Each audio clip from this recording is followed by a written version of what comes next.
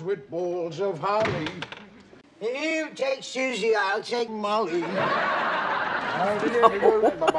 Silent night, holy night, best night in the year to make a buck. Happy mistletoe. A little present for that old joker.